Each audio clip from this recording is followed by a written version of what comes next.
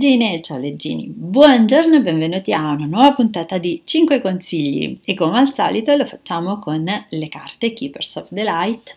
E oggi saranno 5 consigli per purificare lo spazio, quindi dalle energie un po' pesanti, un po' negative. Comunque eh, ti consiglio di leggere anche il mio articolo, ho scritto proprio un articolo su come purificare gli spazi quindi con il suono, con gli incensi, eccetera, però vediamo soprattutto i saggi consigli. E come al solito ti chiederò di scrivermi nei commenti qual è il consiglio del maestro che hai preferito, ti ha risuonato di più, ti è stato più utile in questo momento, insomma, quello che ti è, ti è piaciuto di più. Vediamo, iniziamo subito. Intanto iscriviti al canale YouTube e regalaci un like. Primo consiglio. Oh, saltata qualche carta? Sì, le prendo tutte e due. Allora, allora, De Miriam, la sacra visione.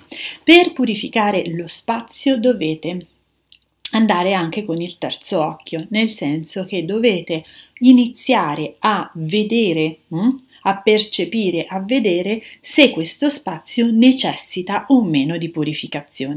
E se vedete che c'è ancora bisogno, continuate, ma se iniziate a percepire che è pulito, allora va bene. Quindi il, per purificare lo spazio serve anche l'accensione, l'apertura del terzo occhio, cioè una visione interiore per percepire le energie.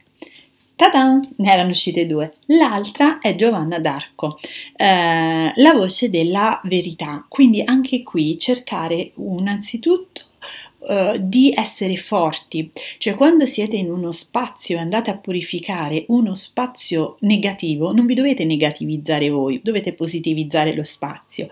Quindi leggetevi il mio articolo, fatevi aiutare da qualche strumento, che può essere il suono, per esempio, che è un grande elemento purificatore, o può essere l'incenso determinati, tipo il palo santo, la salvia bianca, eccetera. Perché? Perché sono certa che quando entrate, per esempio, in una stanza dove hanno appena litigato, voi sentite la tensione. Se entrate in una stanza invece in una casa serena, eccetera, percepite la bellezza del luogo. Ecco, questo è il suono, un po' la percezione della verità del luogo. Quindi per purificare una sta- un, un posto, un luogo da determinati eh, energie negative dovete imparare a vedere dove sono le energie negative così da andare perché molto spesso si fanno a caso queste cose. Io faccio un giro un giro antiorario non so getto sale. Una volta ho visto anche gettare dello zucchero poi sono tipo arrivate le formiche quindi insomma u- utilizzate sempre ecco la seconda vista per farlo e allo stesso tempo eh, percepite la vibrazione, lavorate con la vibrazione, quindi per esempio potete pulire con il suono, mm, se usate la campana tibetana, eh, se usate un qualunque strumento, mi guardo intorno perché ce ne ho molti, me li riporto sempre dai viaggi perché sono proprio degli strumenti per pulire. Vediamo un po' se lo trovo uno a portata. Ecco, li sono andati a prendere. Questo, per esempio, può essere un buon suono. Ok? Oppure anche una maracas. Oppure un po' più scacciarobe. Vedete se avete le campane tibetane anche può andare bene. Insomma l'utilizzo del suono è molto indicato per andare poi a sentire il suono dell'equilibrio e della positività. Terza carta il terzo consiglio L'arcangelo Michele, vabbè, facile, se non avete strumenti, anche se io vi consiglio di usarlo il suono, potete chiamare l'arcangelo Michele e chiedere di dare una bella pulita al luogo. Oppure, come vi dicevo, eh, se rischiate di eh, farvi avvolgere, perché magari non è casa vostra, andate a casa di qualcuno, sentite la pesantezza, eh, potete tirar fuori il sonaglio e iniziare a pulirgli casa, vi, vi prende per pazza forse, e potete chiamare l'arcangelo Michele, quindi lo potete chiamare per scudarvi a voi, quindi per farvi da scudo, non farvi assorbire le energie negative del luogo, oppure lo potete chiamare per purificare lo spazio.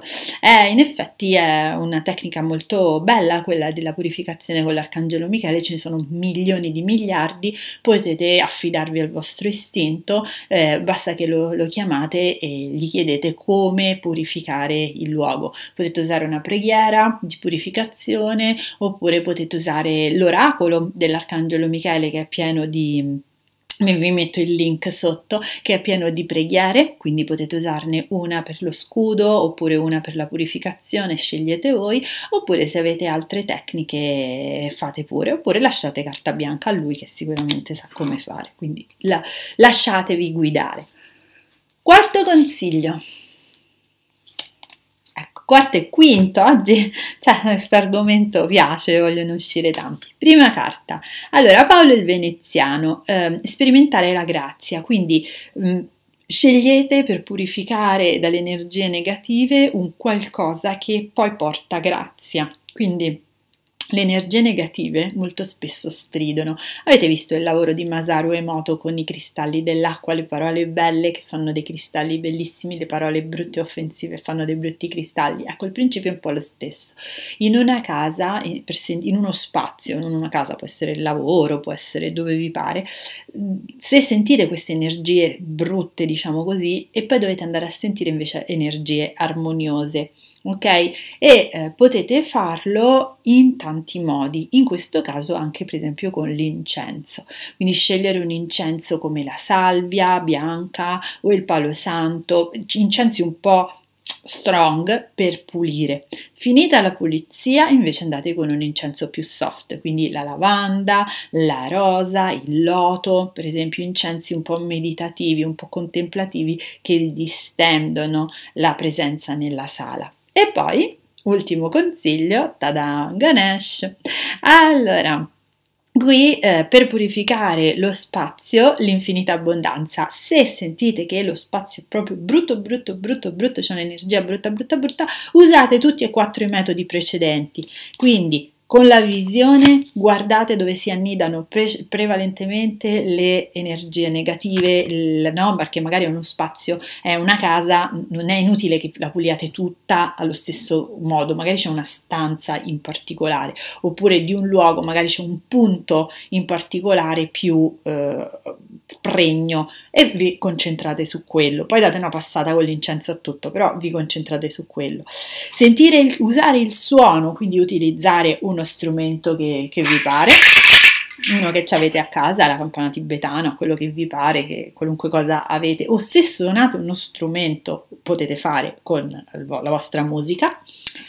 Poi chiamare l'arcangelo Michele che protegge voi e che poi proteggerà anche il luogo così che non si restaurino energie negative, usare l'incenso, prima uno forte di pulizia e poi uno armonico per creare un bell'ambiente e fare tutto questo mix e vedrete che il vostro spazio sarà più che positivo.